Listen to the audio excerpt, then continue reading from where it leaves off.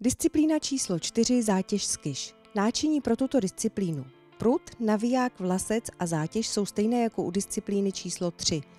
Pět žlutých terčů o průměru 76 cm a maximální tloušťce 10 mm jsou rozestavěny v pěti vzdálenostech 10 až 18 metrů na stojanech tak, aby přední hrana terče byla 5 cm nad zemí a zadní hrana ve výšce 17 cm nad zemí.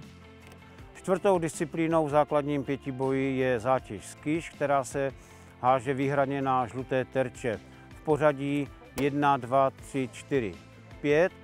Hody na této disciplíně jsou všechny přes hlavu, ale můžeme pro začátečníky, kteří eh, se teprve učí házet, házet třeba jedničku, dvojku pod hodem, ale to už se dneska nedělá, protože učíme děti házet všechny hody přes hlavu.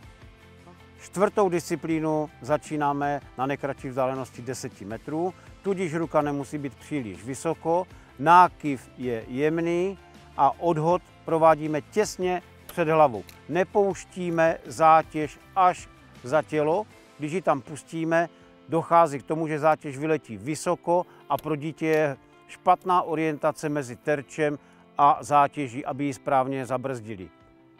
Druhým stanovištěm je terč ve vzdálenosti 12 metrů a už pomalinku zvedáme ruku a pouštíme zátěž víc za tělo.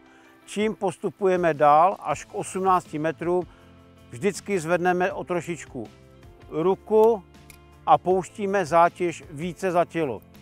Naopak na delších terčích, čtvrtém a pátém, se dětem stává, že tu zátěž zase nepustí za sebe, vezmou ji před tělem a tudíž na ten terč nedohodí. Zátěž spadne před terčem. To jsou takové ty dvě základní chyby, kterých se děti dopouštějí při nácviku této disciplíny. Další chybou při těch delších vzdálenostech 16-18 je, že dítě má nízko položenou ruku. Tím dochází k tomu, že ta zátěž letí nízko a nedoletí. Dbáme na to, aby ta ruka se zvedla na úroveň ramen a očí.